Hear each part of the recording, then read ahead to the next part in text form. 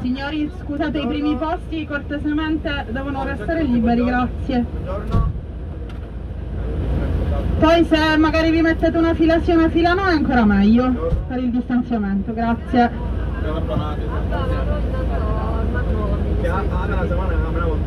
Parecchia. Ora lo chiediamo all'autista.